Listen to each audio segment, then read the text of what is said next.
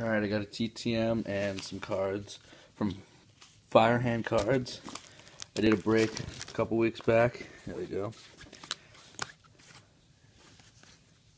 Uh, I'm guessing Matt got he didn't. I got something for Matt because I owed him money, and I'm guessing he didn't get anything and got a pack. I don't know why there's golfers in here, but uh, yeah.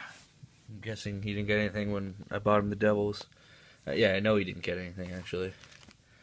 And uh, the one thing I got was I got the Lightning.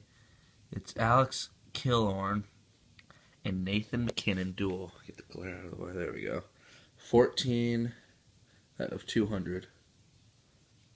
Focus there. Come on. Well, it's not focusing. But it's 14 out of 200. There you go. I love Nathan MacKinnon, So I was extra psyched to get this. And, uh, alright, the TTM. It's from South Carolina, I think. It's kind of smudged. Let's see. Oh, Hacksaw Jim Duggan. Decent autographs. That one's cool.